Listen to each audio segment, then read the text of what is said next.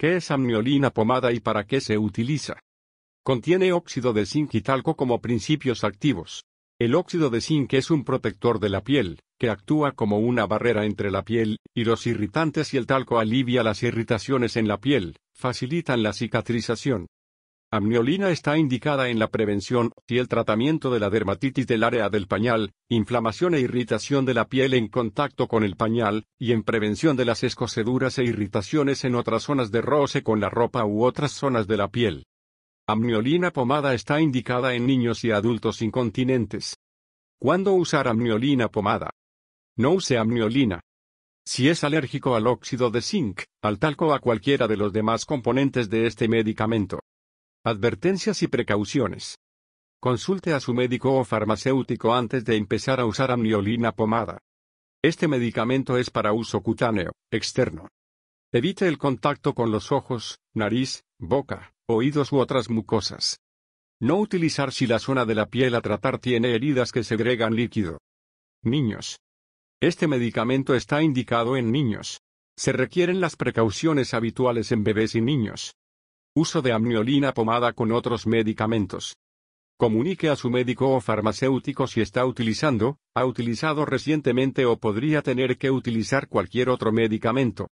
Embarazo y lactancia.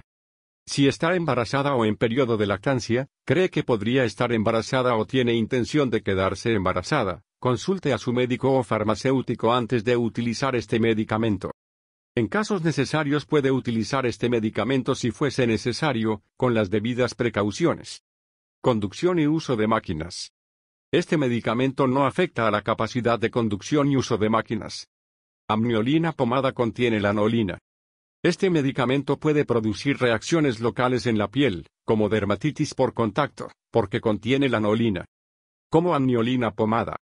Siga exactamente las instrucciones de administración del medicamento contenidas en este prospecto o las indicadas por su médico o farmacéutico. En caso de duda, pregunte a su médico o farmacéutico. Uso cutáneo, en la piel. Aplicar la pomada regularmente sobre la zona a tratar generalmente después de un cambio de pañal. Forma de uso. Limpie y seque bien la zona a proteger o tratar. Aplique amniolina sobre la misma, extendiendo la pomada con las yemas de los dedos de forma suave, pero insistente, hasta conseguir cubrir con una capa fina toda la superficie de la piel a proteger o tratar, no olvidándose de los pliegues y repliegues de la zona afectada. La aplicación de amniolina debe hacerse siempre después del baño y cuantas otras veces sea necesario, generalmente coincidiendo con el cambio de pañales, insistiendo particularmente en aquellas partes más propicias a lesionarse, roce de los pañales, contacto prolongado con las deposiciones, etc. Si usa más amniolina del que debe, no se espera posibilidad de intoxicación si el producto se utiliza de la forma recomendada. El uso prolongado de este medicamento puede hacer que se produzca irritación. En caso de sobredosis o ingestión accidental, consulte inmediatamente a su médico o farmacéutico, indicando el medicamento y la cantidad ingerida. Si olvidó usar amniolina, no use una dosis doble para compensar las dosis olvidadas. Aplique amniolina cuando corresponda si interrumpe el tratamiento con amniolina.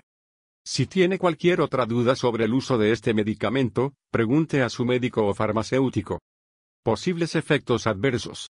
Al igual que todos los medicamentos, este medicamento puede producir efectos adversos, aunque no todas las personas los sufran. En raros casos podría producirse hipersensibilidad a alguno de sus componentes, manifestaciones alérgicas locales o generales en personas sensibles, erupción, irritación, etc.